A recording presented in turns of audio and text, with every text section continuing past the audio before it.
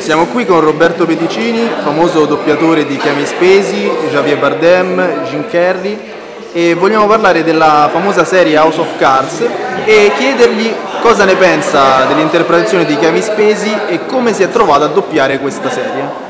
Beh, devo dire che lui è sempre straordinario per tutto, cioè riesce veramente ogni volta a trasmettere con ogni suo sguardo, perché io trovo che Kevin Spacey sia uno degli attori che riesce con i suoi occhi a trasmettere proprio ogni sensazione, ogni percezione di, in questo caso, malvagità, di ironia, di, di cattiveria, però lui è uno che con gli occhi riesce davvero a trasmettere tanto e noi con la voce cerchiamo di adeguare e di seguire quello sguardo, cioè io perlomeno mi metto al servizio di questo ogni volta che lo doppio. Ci sono stati dei momenti in cui ti sei trovato in difficoltà nel doppiaggio?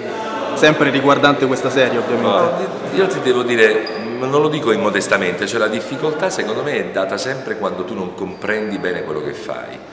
Se capisci bene il suo modo di trasmettere quella cosa, quell'emozione, viene tutto semplice, non so come dire, viene semplice il fatto che tu se, se, riesci a entrare in lui, cioè se riesci a metterti al suo servizio e non a sovrapporti come mm, a volte può capitare anche a noi doppiatori, no? cioè di, di, non metterci al servizio dell'attore che, eh, che, doppiamo, ma a volte di sovrapporci.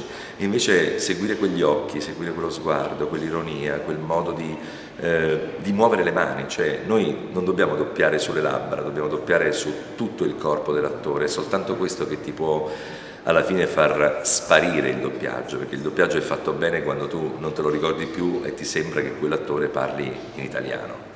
Ti ringrazio. Prego, grazie a voi.